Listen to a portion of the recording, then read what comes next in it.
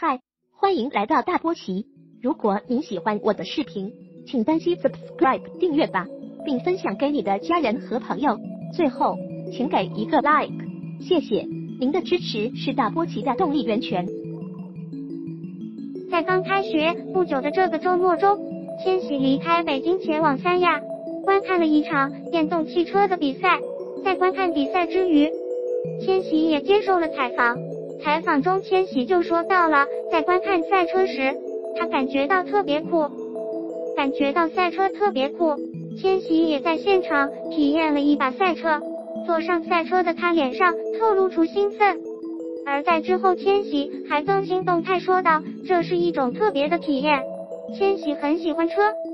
而在采访中，他也透露了在不久之前自己拿到了驾照，这无疑是令他非常兴奋的事情了。在之前千玺的很多采访中，问及到他在幺八岁这一年最想做的事情时，千玺表示希望自己能够拿到驾照。而在千玺成年之后，也有人偶遇到千玺正在练车，看来千玺想拿驾照的心是很迫不及待的。现在千玺才成年不到半年的时间，他自己想考驾照就已经付出了行动，并且现在已经拿到了驾照，这种行动力真的很令人佩服。对于很多人来说，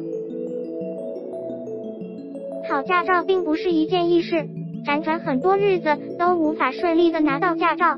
拿驾照的时间确实是很短的，平常活动那么多，想想就知道没有多少时间练车。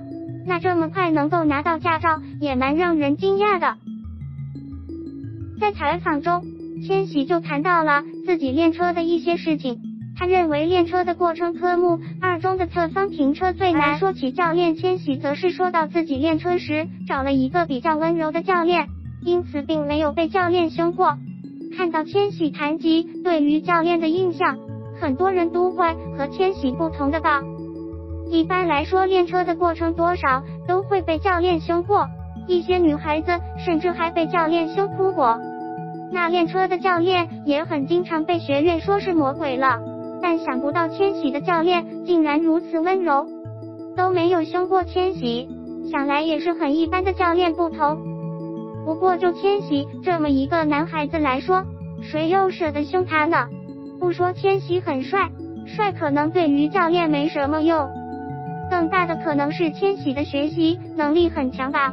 从平时千玺的学习情况来看，他学东西总是很快的。更何况身边的工作人员还会开车，私底下也是会教千玺的。所以真的在车场练车的时候，千玺学起来应该也不会有太大的压力，教练也就没有理由可以凶他了。千玺领到了驾照，真的很为他高兴。顺利完成了他自己十八岁的目标，接下来千玺应该还有其他想做的事情吧？那也是希望接下来的千玺能够顺利的做他想做的事情，一直都享受于实现目标的过程。谢谢您的欣赏，如果您喜欢，请订阅吧，不要忘记单击小铃铛，这样您会及时收到大波奇的更新。谢谢。